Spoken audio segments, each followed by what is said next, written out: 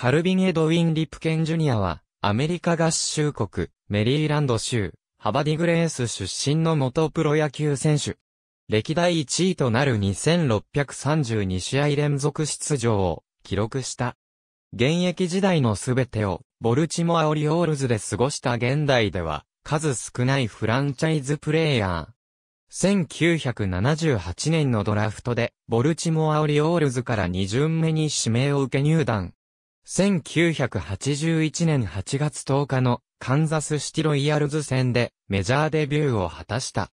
1982年シーズン当初は三塁手として出場していたが、7月1日に R. ウィーバー監督が遊撃手にコンバート。打率264.28本塁打、93打点を記録し、アメリカンリーグ新人王を受賞した。チカル・リプケンシニアと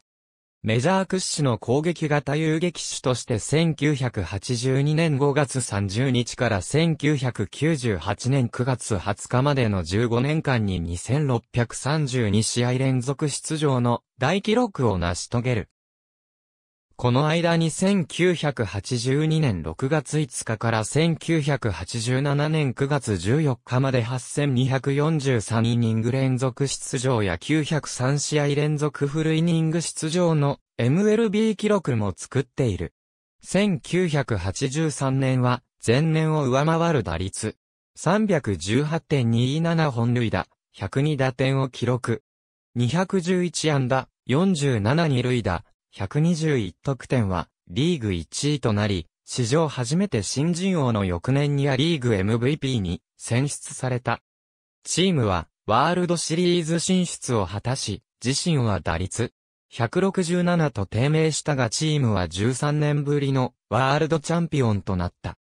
1984年はリーグ新記録となる583補殺を記録し、5月6日にはサイクルアンダーを達成。また、同年の日米野球のメンバーの一人として参加している。1985年4月10日に左足首をひねり石から2週間の休養が必要と宣告されたが次の日は試合がなく12日から出場を続け連続試合の記録は途切れなかった。1987年に父のカルリプケンシニアがオリオールズの監督に就任し、弟のビリー・リプケンがメジャー昇格を果たしに勇敢を形成。史上初めて親子3人が同一チームとなった。1993年1990年4月14日から7月27日かけて当時の MLB 新記録となる95試合連続無失策を達成。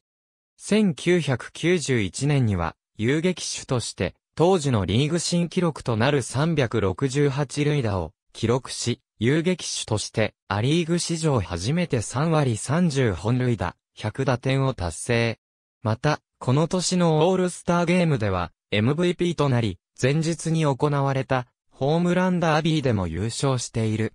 自身2度目の MVP も受賞した。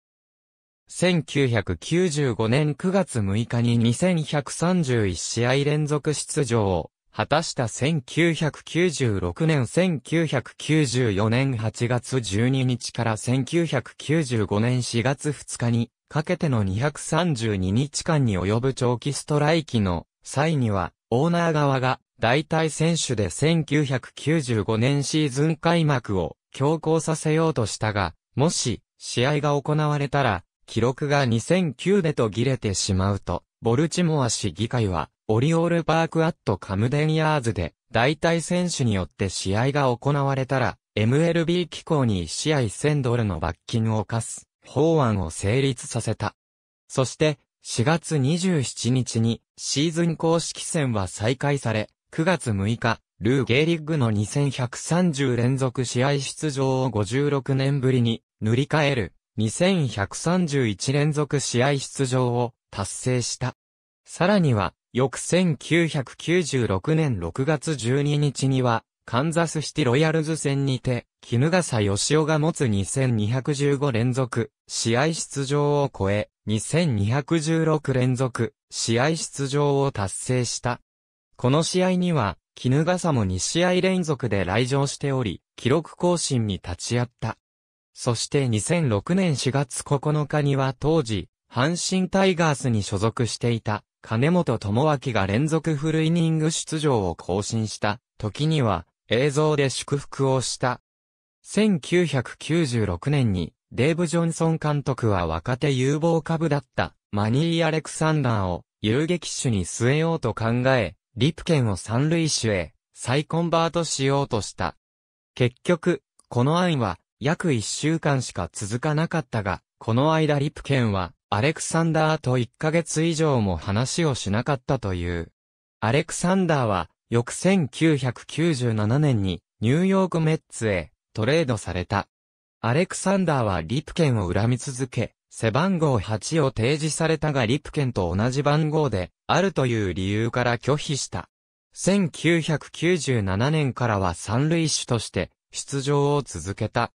1998年の本拠地最終戦となった9月20日、自ら欠場を申し出て連続試合の記録は2632で終わった。1999年3月25日に父のシニアが亡くなり精神的に大きなショックを受け開幕を迎えた。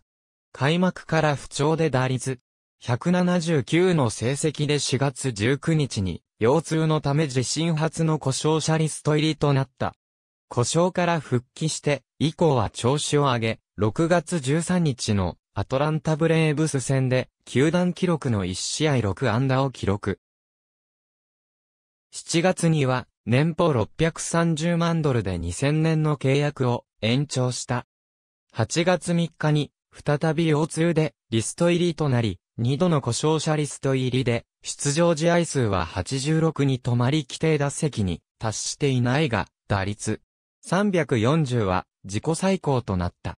2000年4月16日のミネソタツインズ戦で3000本安打を達成。選手生活晩年のリープ県2001年6月、この年限りでの現役引退を発表。最後のオールスターゲームには、ファン投票で19回目の選出を果たし、アメリカンリーグの選出記録を更新した。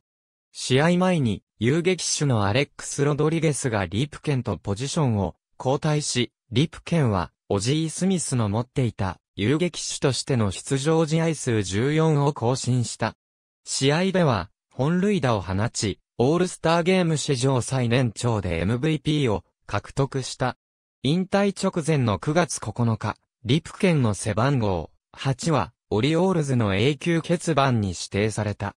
引退試合は、ヤンキースタジアムの予定だったが、アメリカ同時多発テロ事件のため同年10月6日に、本拠地で公式戦最後戦で迎えた。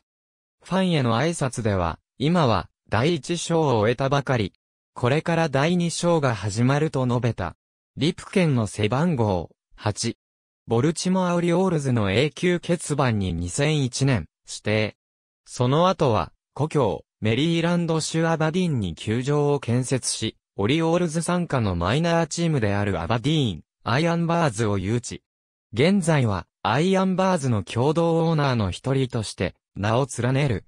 そして、妻ケリーと、ケリーカルリプケン基金を設立して、チャリティーイベントや、募金活動、自身が破った前記録保持者の衣笠と共に、少年野球の発展などに力を注ぎ、たびたびその指導のために、日本にも来日している。多くの組織に、積極的に寄付も行っているが、その中には、筋萎縮性側索硬化症の研究への援助も含まれている。引退した2001年に USA Today が満票でアメリカ野球殿堂入りすることができるかと特集が組まれ、殿堂入り有資格者となる2007年、満票ではなかったが537票もの高得票を集め、初年度での殿堂入りを果たした。得票率98.5%は歴代3位、野手としては当時史上最高の得票率である。2018年4月23日に全記録保持者の絹笠が死去した折には、リプケンも偉大な友人だったと哀悼の意を表した。連続試合出場記録ばかりがクローズアップされるリプケンだが、通算3184安打、431、本塁打、1695打点と、バッティングでも優れた成績を残しており、カール・ヤストレムスキー以来のアメリカンリーグのみで3000本安打と400本塁打の記録を達成した。ゴールドグラブ賞を2回受賞しており、大柄な体を活かしたミスのない職人肌のプレーはメジャー屈指であった。